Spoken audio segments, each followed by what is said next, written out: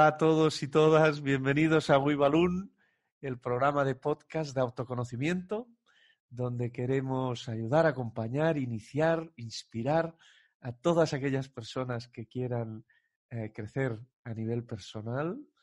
Eh, lo hacemos con, eh, intentando aportar el máximo rigor y evidencia científica de manera holística e intentando generar cambios de verdad queremos pasar de la autoayuda 1.0 al autoconocimiento 6.0. Y lo hacemos entrevistando a personas interesantes con mucho mensaje que nos ayudan en este camino.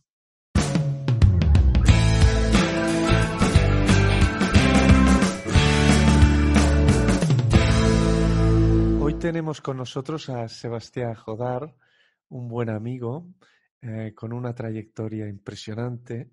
Él ahora vive en un pueblecito en lo que se llama la Toscana catalana y eh, vive en el campo eh, con unos valores y con unas ideas muy propias. Y, hace muchos años que lo conozco.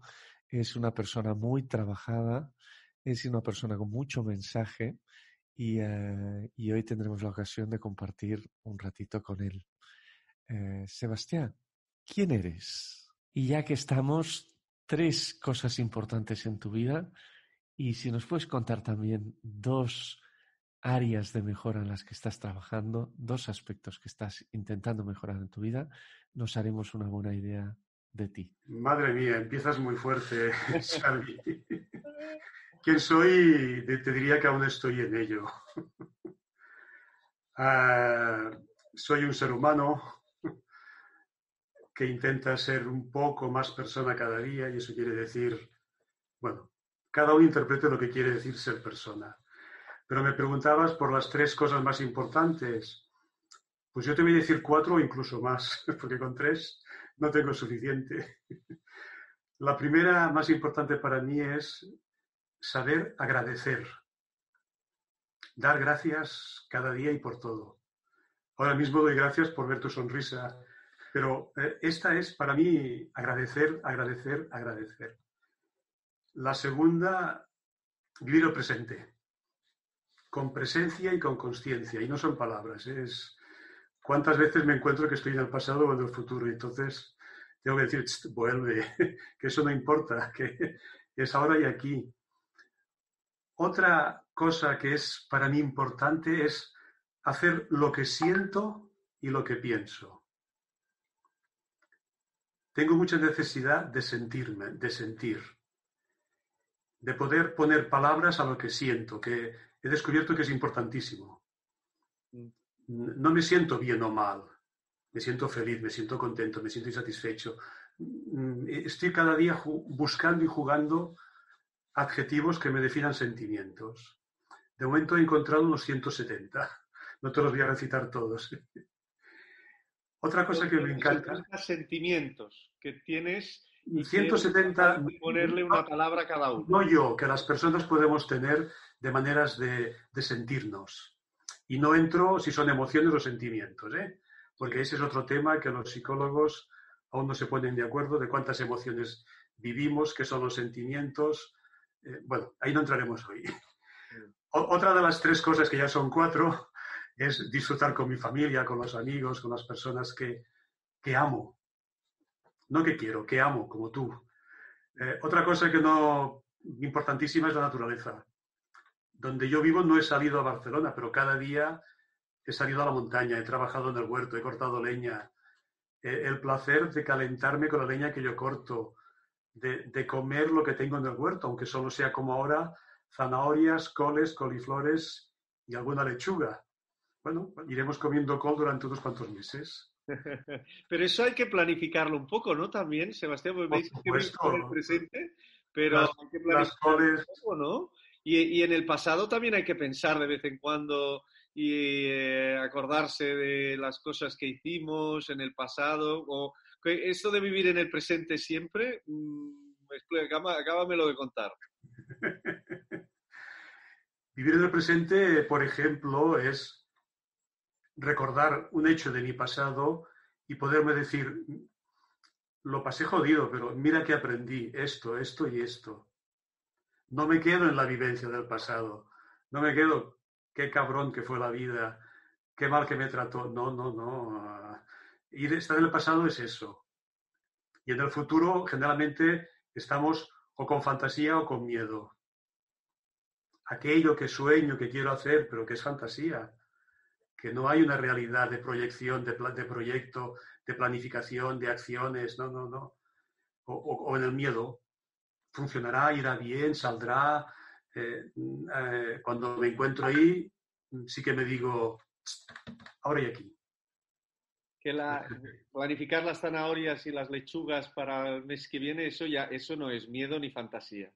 no, eso es planificar, es, es, saber que en noviembre y diciembre tendré poca verdura, por lo tanto en mayo tengo que plantar zanahorias.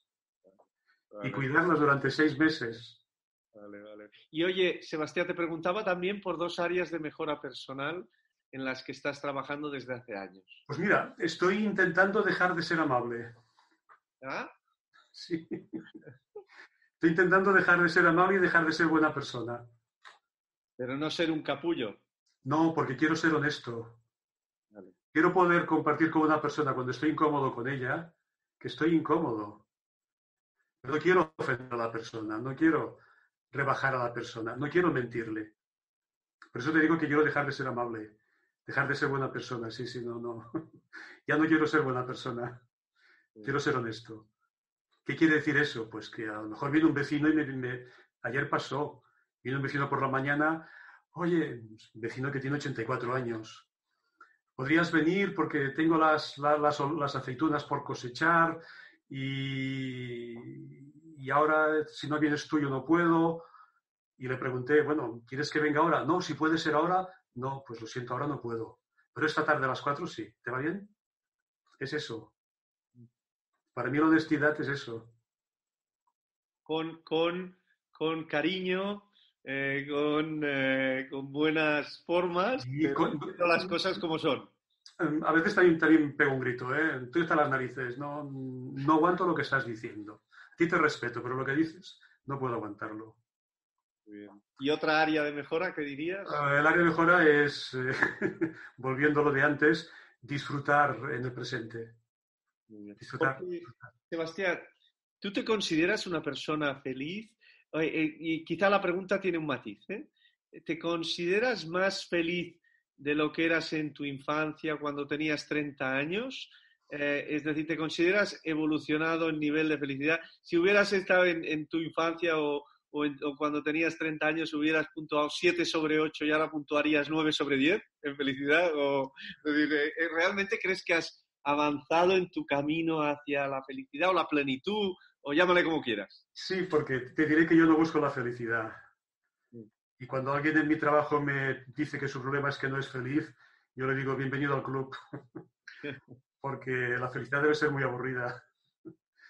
Yo creo que yo me considero que más bienestar que cuando tenía 18, 30, 35, 40, 50 años. Tengo más bienestar.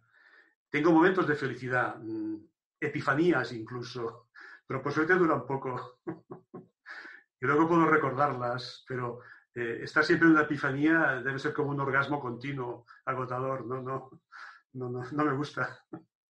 Porque en este viaje por la vida que has hecho, ¿ya? Y, eh, ¿Qué es lo más importante que has aprendido? Es decir, si tuvieras que destacar cositas eh, relevantes que han sido eh, claves en tu autoconocimiento y en tu crecimiento personal, ¿qué destacarías? Que nunca quiero dejar de aprender, lo que sea, ¿eh? Ahora estoy aprendiendo cómo hacer una instalación eléctrica en mi casa, porque voy a instalar placas fotovoltaicas, pero dejar de aprender, pero sobre todo de las personas, con las personas. Pero otra cosa que a mí me, curó y me sanó mucho cuando caí del burro fue darme cuenta de que lo que yo siento de lo que es la vida no es la vida, es lo que yo interpreto que es la vida. Y que tú interpretarás otra cosa y que tendrás todo tu derecho a verlo así, pero que ninguno de los dos tiene la razón completa. Y entonces me, dediqué mucho a estudiar y profundizar cómo las historias que nos explicamos nos hacen infelices o felices. Cómo eso nos ata al pasado o al futuro, como te comentaba antes. Eh, las historias que nos explicamos mm, son muy importantes. Porque cuando ahora cuentas que te caíste del burro, eh, era, tenías la típica crisis de los 40, a los 30, ¿cuándo, te caíste del burro? ¿Y cuándo también eh, decidiste eh, empezar este viaje del autoconocimiento y del coaching y, llegaste a estas conclusiones tan bonitas que ahora, que ahora comentabas? A ver, yo me he caído del burro dos veces, en mi vida por lo menos una con 18 años. Eh, imagínate un adolescente iracundo enfrentado a su familia y que tiene una experiencia vital muy importante de enfermedad. Ahí, ahí me he caído el burro. Ahí me di cuenta de que la vida no era lo que yo pensaba que era. Y, curiosamente, en ese momento me metí a leer sobre budismo, budismo zen, y eso me, ayudó, me ayudó, me ayudó a, sobre todo a, disminuir mi sentimiento de rabia con el mundo. Pero una rabia tremenda, ¿eh? Yo era capaz de, romperme la cara con el primero que me mirara. La segunda vez que he caído del burro, he caído otras veces. Cuando te nace un hijo, caes del burro. y tengo tres. Pero otra vez en una crisis profunda en que me di cuenta de que eh, estaba demasiado lamiendo mis heridas, y entonces me di cuenta que me quería centrar en mirar mis cicatrices. Pero la cicatriz es aquello que ya ha pasado, que la herida se ha cerrado. Y, que la cicatriz es bella porque te recuerda la experiencia. Pero no quería volver a tener cicatrices. Y ahí fue donde empecé a estudiar, a cambiar, eh, sobre todo interesarme por cómo soy yo, por qué, para qué estoy vivo, no por qué, sino para qué estoy vivo. A buscar mi sentido, que aún no lo he encontrado, pero sigo buscando. Y ahí estoy. Y en este recorrido vital, eh, Sebastián, ¿cuál es la herramienta que te has encontrado más útil para trabajarte como persona? De todos estos enfoques que ahora comentabas del budismo del, y, de, y de aproximaciones del coaching y de cositas que has ido haciendo a lo largo de tu vida, que entiendo que seguro que has pasado por muchos caminos diversos. Eh, ¿Cuál es el enfoque que destacarías que te ha sido más útil, más práctico, que aún estás trabajando con, con, ese, con esa aproximación? ¿Qué, qué, nos destacarías? Antes de ello, quiero comentarte que para, en ese momento para mí hubo una palabra mágica que era anhelo. Ahora tenía una pregunta, Javier, Xavi. ¿Qué anhelas tú en la vida? No me respondas, ¿eh? pero ahí te la dejo para que esta noche la mastiques. Que, yo me preguntaba, ¿qué anhelo en la vida? No qué quiero, ¿qué anhelo? Eh, no sé, cuando te pregunto qué anhelas, no te voy a hacer coaching, pero ¿en qué parte del cuerpo te resuena eso? ¿En la cabeza o en otro lugar del cuerpo, el anhelo? A mí me resuena en el corazón, en, el pecho. ¿Qué anhelo? A partir de ahí empecé, sobre todo, primero con la PNL, la programación neurolingüística. Me formé, eh, soy máster en coaching con PNL, máster practitioner PNL, trainer eh, PNL trainer, y ahí mi vida cambió mucho. Tanto porque cambié mi actividad profesional, o usé todos estos conocimientos en lo que yo hacía, pero porque yo cambié mucho.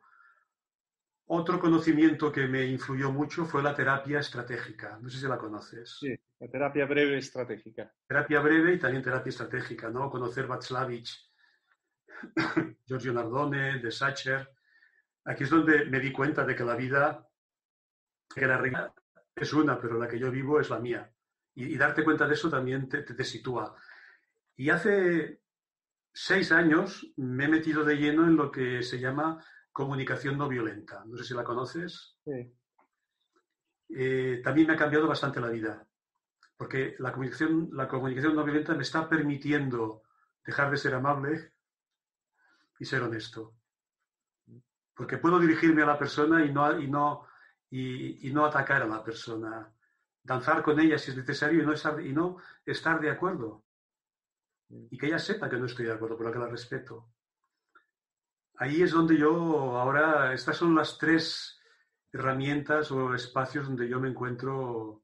Que son tres espacios muy, muy, Sebastián, de, reprogramación cognitiva, ¿no? Son, y de reprogramación de creencias y de lo que decías al principio, ¿no? De la vida que tú estás viviendo, no es, decir, es una vivencia personal y que tú la sientes como absoluta, pero que perfectamente eh, cuando la repiensas y te das cuenta de, las creencias que hay detrás y, eh, de, y de, todo lo que es, es y eres capaz de reprogramar esos patrones y esa, esa, esa mirada que tú tienes en la vida, pues automáticamente puedes vivir una vida muy diferente, ¿no?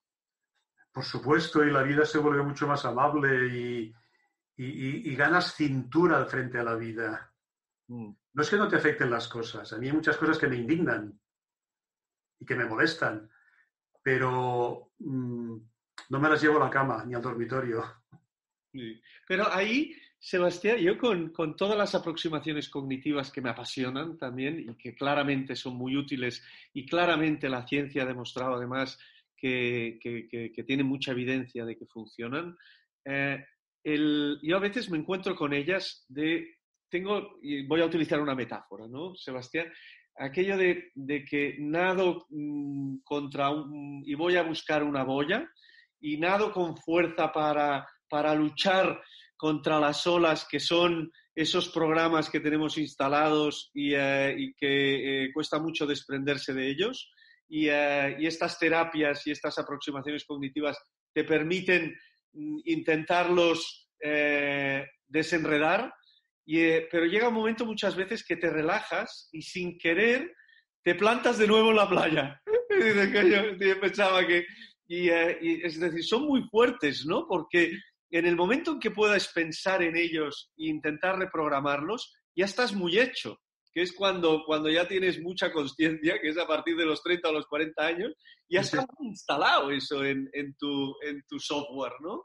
Y ahí, sacárselo de encima es muy complicado, ¿no? Tú, tú ahí, ¿qué, aprendizajes tienes? ¿Realmente hay, hay, hay eh, aproximaciones que permiten sacarte estas cosas de encima de manera más acelerada o de manera más rápida? A ver, eh, como dice aquel, la prisa puede matar, amigo. Eh, rápido, a veces tienes lo que llamamos un insight, una visión que te cambia la vida, pero las personas no funcionamos así. Eh, en coaching me encuentro con muchas personas que, que, me, que llegan, me cuentan su tema y dicen, bueno, ¿y cómo lo arreglamos? Digo, pues no sé, ¿usted a qué está dispuesto? ¿Usted qué está dispuesto? Y a partir de ahí siempre pido a las personas calma, pequeños, pequeñísimos cambios, y de repente un día viene y dice, y me cuentan, no sé qué has hecho. Digo, no, no, yo no he hecho nada. Tú has hecho, pero ¿qué pasa? Pues que ha cambiado mi vida. Bueno, esos pequeños cambios, tú planteabas la metáfora de nadar en el mar abierto. Yo soy de un pueblo costero de mar y en el mar aprendí que hay que, fluir. No puedo luchar contra las olas. Puedo usarlas. Puedo incluso sumergirme para que no me arrastre. Pero si el mar me quiere llevar hacia un lugar, yo voy a facilitarlo. Pero ahí en ese debate, eh, Sebastián, a mí me, me, gusta Una, una, una, dicotomía que utilizan mucho los anglosajones, que hablan del, del being y del becoming. ¿no?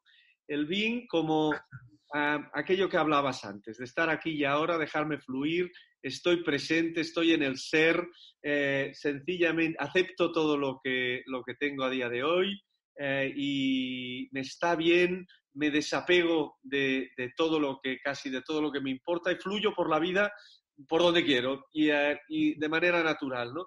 En cambio, el becoming como contraposición es aquella fuerza para intentar llegar a ser eh, lo que tú quieres ser en la vida. ¿eh? Y intentar luchar por tus ideales, por luchar por, por, tener, por levantar una familia, por levantar un proyecto profesional, por ser eh, reconocido no sé qué, por hacer lo que sea en tu vida, ¿no? claro, el becoming implica muchas veces insatisfacción y la, la, lucha por intentar ser alguien, ¿no? Mientras que en el being mm, lo que quieres es estar satisfecho con el presente y con lo que eres y estar aquí y ahora y eh, sin esa energía de, Entonces, a veces yo los veo un poco contradictorios, ¿eh? uno con el otro, y, hay muchas veces que hablo con gente del mundo del coaching y, a veces los sitúo más en el being o los sitúo más en el becoming. ¿eh? Y, me, me, cuesta encontrar un equilibrio entre estas dos fuerzas contrapuestas. ¿Qué me dirías a esto? A ver, un coach ejecutivo se situará más en el becoming porque tú vas al coach ejecutivo para conseguir ciertos objetivos, objetivos que te impulsan. Eh, yo me sitúo entre dos aguas, es decir, yo no, no me paso un día levitando en el huerto. tengo proyectos, tengo clientes, tengo que darles lo que, no, lo que ellos me piden, sino lo que yo creo que me han pedido. ¿eh? Tengo que cumplir, tengo unas responsabilidades, entonces mira, eso lleva a otro lugar. Yo ahora trabajo mucho, mucho con equipos, una cosa tan tonta como es planificar la productividad personal y el tiempo. Es decir, estamos hablando de grandes cosas y en cambio ahora mi trabajo mm, con equipos y con personas es ayudarnos a comprender que el día tiene 24 horas y, que el tiempo eh, es el que es y que podemos ser productivos, pero que no podemos tener días de 30, de 30 horas. Y eso, ser mm. productivo y ser hiperproductivo y entonces ponerte y planificar y hacer objetivos y estar en las listas. Sí, sí, sí, ¿Puedes vivir un poco en el futuro? ¿Y eh, entonces no estás conectado con el presente? No, porque yo sé dónde estoy y sé dónde quiero ir. Y a partir de ahí, sobre todo, que mis objetivos sean realistas, medibles y que dependan de mí. Un objetivo que alguien me planteó una vez quiero que tal persona me ame. Digo, pues mm, no voy a poder ayudarle. Busque una bruja. Mm, no, no va por ahí el tema. Pero sí que podemos trabajar por qué necesita usted que esta persona le ame. ¿Qué necesidad quiere cubrir con ello? Y a partir de ahí vamos a ver incluso estrategias para acercarnos, pero siendo nosotros no siendo lo que la otra persona quiere que seamos. No es, eh, este estar en el presente no es un happy flowers, ¿eh? es, ser, eficiente y efectivo. Es, es decir, decirte, hoy trabajaré siete horas y voy a hacer esto, esto y esto. Y acabar el día y decir, lo he hecho. Y esta cosa que no he acabado, mañana la voy a hacer a mí me es útil porque soy desordenado de naturaleza. Y entonces... Cuando te oigo hablar, a veces utilizas muchas palabras eh, que me, y es, ahora te, hago la pregunta más difícil de toda la entrevista. es, eh, me resuena mucho y con lo que te conozco, eh, cuando estás en el mundo del autoconocimiento hay muchas aproximaciones de tono místico espiritual. Y hay otras aproximaciones de tono mucho más práctico, científico, em, eh, utilitarista, casi diría, ¿no? O de tal. Y, eh, bascula mucho según a quien, a quien oigas eh, y puedes oír a alguien como Tony Robbins, que es un... lo conozco. el gran coach del éxito y del, y de tal, y en cambio, pues yo qué sé, eh, pues escuchar eh, pues algún gurú espiritual eh, potente que tiene un discurso totalmente en, el otro, en el otro, en el otro lado de la, del, del, océano, ¿no? Y ahí, ¿tú dónde te, te, situarías? Es decir, tu, Yo te preguntaría dónde me ibas a colocar tú, porque hace un momento dices Oye, ¿tú cómo hablas? No pregunto, no lo sé, tengo, mis dudas. Eh, según con me, utilizas lenguaje de los dos mundos. ya, eh, sabes que, ya sabes que el coach tiene todas las preguntas y el cliente tiene algunas respuestas. Pero bueno, Mira, a Tony Robbins eh, lo conozco de hace muchos años. Fue uno de sus libros que me despertó en los años 90, pero mm, no me identifico con sus shows mediáticos. No me identifico, no, no, no me siento cómodo. Eh, hay mucho dinero en juego ahí. Y no es que el dinero sea bueno ni malo, el dinero es muy útil, muy necesario, pero no me siento cómodo con Tony Robbins. Eh, me siento muy cómodo, claro, yo ahora tiraré el agua a mi molino. con eh, Marshall Rosenberg, que es el, padre de la comunicación no violenta. Mm, me encanta cuando veo su vida, una persona capaz de meterse en Sierra Leona, de meterse en la guerra serbia para intentar formar, a bandos contrarios para que pudieran dialogar. Eh, trabajar en el Bronx de Nueva York cuando aquello era una zona, eh, es una persona que con su vida ha aplicado lo que él creía que era útil para mejorar la comunicación humana. Me siento cómodo con él. Estos gurús espirituales, como puede ser haber, sido en su momento Osho, sí. uh, Chopra, eh, el famoso libro de eh, aquel libro de que... De la hora de Eckhart Tolle. No, ese libro aún, pero ¿cómo se llama? Mira, mira si me interesa poco. Aquel que te decía, si lo deseas, lo consigues. Ah, sí, el secreto. El secreto. A ver, está muy bien para pasar una tarde, pero si yo quisiera ser presidenta de Estados Unidos, aunque lo deseara mucho, seguro que no lo consigo. porque mucho de esta filosofía es piensa lo que quieres, siéntelo, eh, medita, medita y atráelo. ¿eh? Y sin querer te llegará.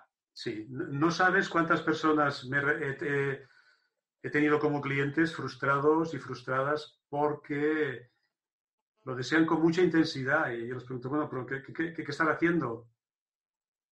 ¿Sabes el chiste aquel del misionero? No. Cuentan que un misionero se encontraba en el, eh, en una zona en que empezó a llover mucho, mucho, mucho, mucho, mucho. Tanto que se subió al tejado del... Y ahí empezó a rezar. Señor Dios mío, sálvame, Señor Dios mío, sálvame.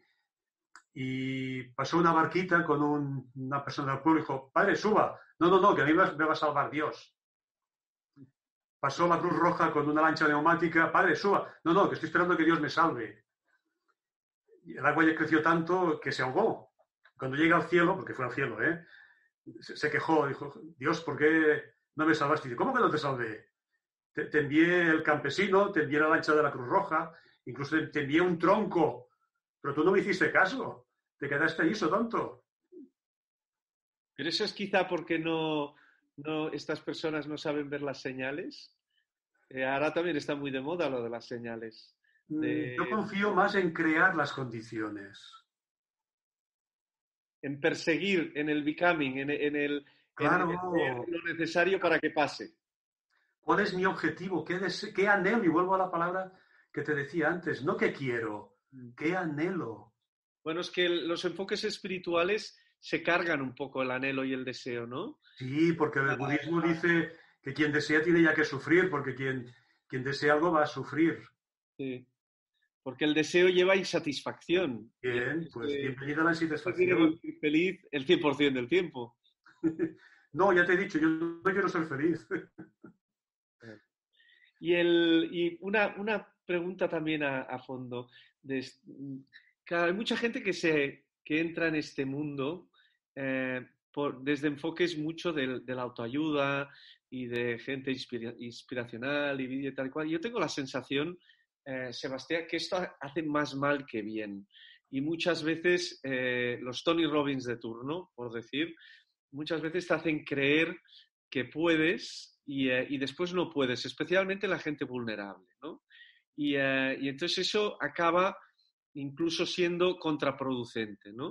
Entonces, ¿cuál sería tu recomendación a alguien que siente profundamente la necesidad de cambiar? y de iniciar un viaje de autoconocimiento y de crecimiento personal. ¿Y eh, ¿cuáles, cuáles serían tus consejos de, cómo iniciar este viaje? Porque, mira, te, voy a leer una cita, antes que no puedo estar de leérmela, de leértela, que es una cita de, de Hawkins, de David Hawkins, que es un... Psicólogo, ¿no? Americano. Sí, y del, que también resuena mucho con el mundo espiritual, ¿ve? Pero él dice, cuando tienes molestias vas al médico o al psiquiatra, al psicólogo o al astrólogo. Te haces de una religión, estudias filosofía, te das un empujoncito con las técnicas de liberación emocional, equilibras los chakras, pruebas con reflexología, acupuntura, con iridiología o luces y cristales. Meditas, recitas mantras, bebes té verde, aprendes PNL, trabajas visualizaciones, estudias psicología, haces yoga, pruebas lo psicodélico, cambias la nutrición, llevas joyas psíquicas, expandes la conciencia, haces biofeedback, terapia gestal, visitas a tu homeópata, quiropráctico y naturópata, pruebas la kinesiología, descubres tu eneatipo, equilibras tus meridianos, te reúnes con chamanes, practicas el Feng Shui, encuentras a un nuevo gurú, escribes afirmaciones, pruebas el renacer, tiras el I Ching, el tarot, estudias y practicas Ten, aprendes magia, te preparas para la muerte, vas a returas y, ayunas. Eh, ¿Qué te parece todo esto, Sebastián? ¿Qué le sugerirías a nuestros oyentes si quieren iniciar un camino hacia el autoconocimiento? ¿Van a tener que pasar por todo esto? Eh, mm, eh, ahora que no nos oye nadie, yo he pasado por muchas de ellas. y te preguntaría, ¿y tú por cuántas has pasado? Porque eres una persona inquieta. Ya sé que no me responderás. para llegar a buenas conclusiones tienes que pasar por alguna, por todas estas o no? Alguna tienes que mojarte. Pero ¿y cuál, cómo, lo, cómo lo eliges? Es decir, ah, pregunta, ¿qué, mm, que si no ahí, hay como una, ahí hay como una magia. Te encuentras, de, de repente te encuentras leyendo un libro a mí me pasa. Hay libros que los abro y cuando llevo cinco páginas digo, no me interesa. No me interesa. Sea una novela, sea un libro de autoayuda, pero cuando encuentras alguna cosa que te, que te mueve internamente, acércate, acércate. No hagas un retiro de 5.000 euros, ¿eh? Digo que te acerques. No te inscribas a un curso de 1.500 euros. Como mucho cómprate el libro o ves a la conferencia y ve cómo resuena. Incluso busca un profesional que te pueda orientar, porque estás buscando.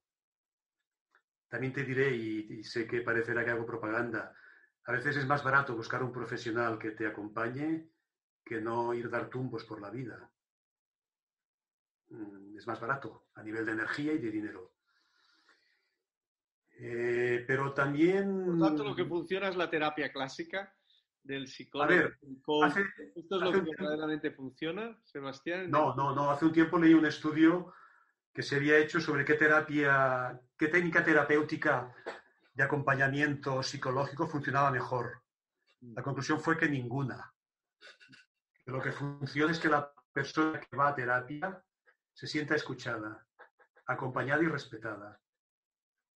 Y a partir de ahí sí que hay un margen de mejora en algunas, pero que en sí mm, lo que funciona es la presencia humana, el calor humano, el respeto. Que tú hagas tu propio camino, pero con alguien que te escucha. Que te escucha y que a veces te, te cuestiona o te confronta. ¿Seguro que vas a ir por ahí? O, que, o preguntarle, ¿Qué es lo que te impide ir por ese camino que tú anhelas? Vamos a estudiarlo. Porque cuando nos encontramos con un problema, yo soy mucho de una persona que, me gusta mucho escribir y que recomiendo escribir. En un momento de confusión escribe, vacía, vuelca. No te cortes, vuelca. En un momento de euforia escribe. Eh, en un momento de cambio escribe. Y ahí cuando pase el momento, podrás entender cosas de ti. Y ahí también empieza el autoconocimiento. Porque ahí no te lo tienes que creer todo. Que muchas veces en el autoconocimiento, que hay grandes gurús, comunicadores, tal, que te, venden la moto. Y, la gente es muy crédula muchas veces. Muy crédula. Yo me he discutido públicamente con alguno de ellos. y cuesta tener pensamiento crítico de, en el mundo del autoconocimiento y ver sacar eh, la, eh, la, sacar el, la esencia de aquello que te están diciendo y lo que, y lo que eh, te parece bien y lo que te parece mal, ¿no? Mucha gente, parece como que la gente necesitamos creernos lo que nos dicen, ¿no? Sí, sí, sí, sí, sí. Eh, eh, tú verás que yo no tengo nada en Internet, yo no tengo web. Sí. Mm, yo trabajo con el boca oreja. No, no, no quiero, no, no, no, no, no me vendo. Trabajo menos, quizás, pero mm, no. Aunque estoy planteando hacer una web el año que viene para otros temas. Pero sí, hay, hay mucha persona necesitada y a veces hay personas que son desalmados, desalmadas. Porque aquel que no es capaz de vivir lo que predica no me merece confianza. Y veo muchos que no, no.